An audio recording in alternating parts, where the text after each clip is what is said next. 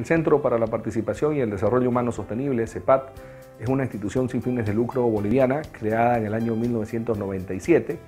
Nuestro enfoque es de desarrollo local en general, trabajamos en diferentes partes del país, pero en especial en ese territorio mágico de la tierra colorada, colorada que son las misiones jesuíticas de Chiquito.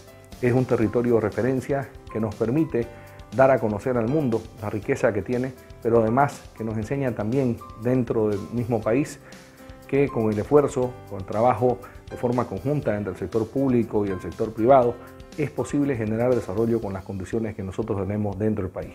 El turismo y la artesanía, sin duda alguna, son sectores que nos impulsan a creer y a tener esperanza en que es posible construir una Bolivia mejor desde lo local.